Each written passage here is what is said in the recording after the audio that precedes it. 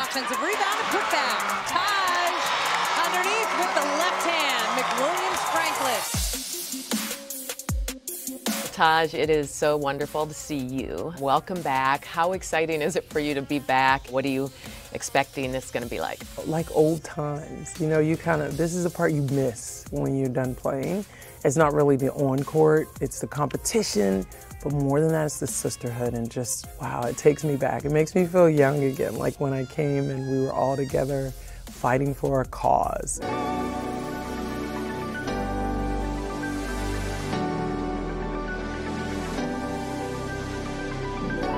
You were always known for your, your work ethic and your ability to kind of pull a team together. And I know that everyone always used to call you, you know, Mama Taj, and like people always look to you. Talk about that role with that team, and it was just so critical. You've just played such a huge part with that team. Yeah, I, I think Candice Wiggins started the Mama Taj thing. Okay. I never had a nickname before. It was just always Taj. And I think for this team, that was one of the things when Cheryl Reeve called me. She really had a vision. Mm -hmm and her persistence paid off. She had Lindsay call me, Way called me. I talked to Rebekkah Brunson. She like put on the press. So um, once I really heard from them how they felt the truth about the city, the truth about playing, Cheryl Reeve was just like, I need some stability in the locker room. I need a voice in the locker room. And I need some stability on the defensive end. And you know, those are the things I do naturally. And it really fed into the wheelhouse of what I do really well. What was the personality of that team? Because it seemed like it was just such a great chemistry. Yeah, it was actually, and I think it blended because we had we didn't have people that were the same.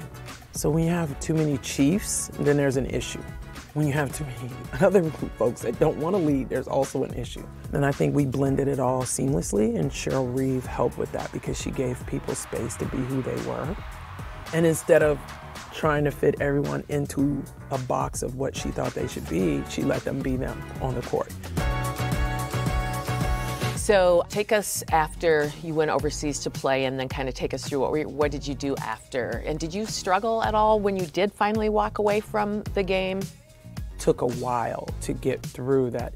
No, I didn't want to be on the court. I didn't want to be waking up at 8 a.m. going to therapy with my knees iced and all of that. But I did miss the part about us fighting for a cause and all being together and that rush. But at the end of the day, when people talk about me, what I kind of started thinking about legacy, what do I want people to say? Oh, she's a great player, that's awesome, yeah, yeah, yeah. And I didn't want that. I never wanted the accolades and stuff. I wanted them to say, I left the game better than I found it. I help the next generation move on and understand the nuances of the game, but also the life lessons you learn from any sport. And so that has been my now overriding goal. Years later, I mean, Coach Reeve would still talk about like, we need that type of player, like a Taj. We don't have that type of player, like a, you know, and so that impact just kept going on and on. So, how has it been for you then working in the offices? Kind of give us that next step of your career and, and how you learned that next role. I remember when it was time for me to retire, played 14 years, never once had a conversation with anyone about what are you going to do when you're done with mm-hmm. this? It's kind of like left out. And so they made up this position to help me because I can build bridges. I'm really great with relationships. I build bridges, but also the player development part is to help these players.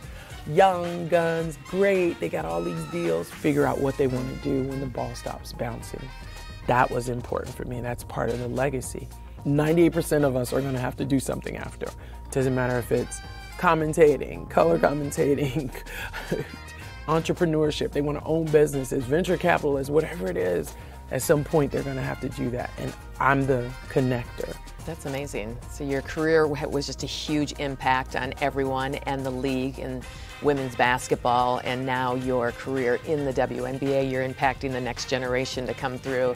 It's a perfect fit. Taj, thank you so much for spending time thank with you. us and thank you for everything that you have done to make this league great. Thank you so much, Lea. Appreciate you always.